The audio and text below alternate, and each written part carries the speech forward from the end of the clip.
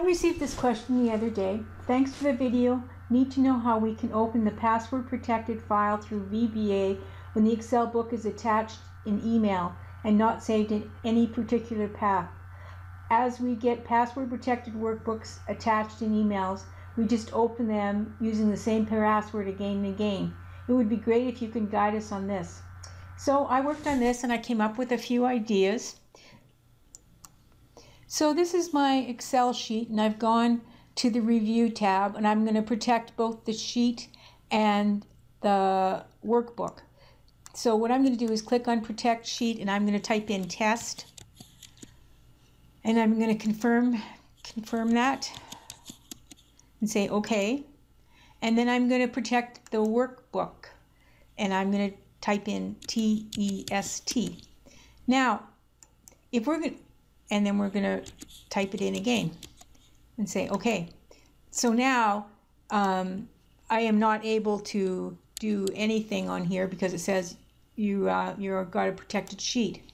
Okay, so let's go to the developer tab and now let's go to the insert visual basic and what we're going to do is I have put this on my personal workbook so that is I, so that whenever you open up any file, you'll have access to this.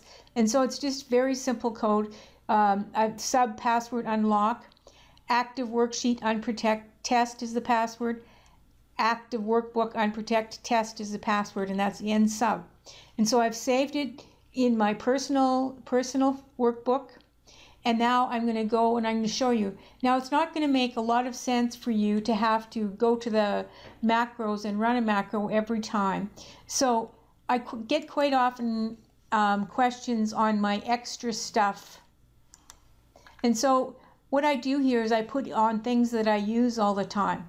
So we'll go to file on the menu, the word file on the menu bar, and we're going to go to options. And we're going to go uh, customize ribbon. Okay, so now in the customize ribbon, I'm going to drop this down and I'm going to select macros.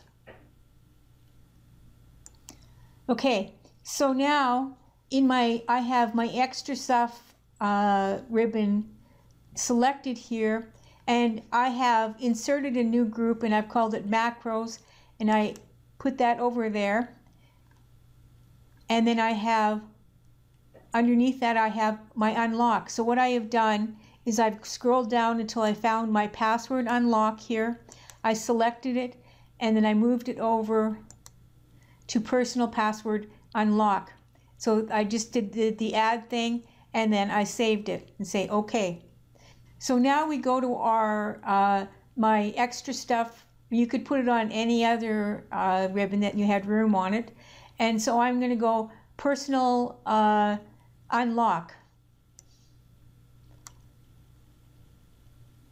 And so basically now I can um, I can add stuff. I can delete stuff.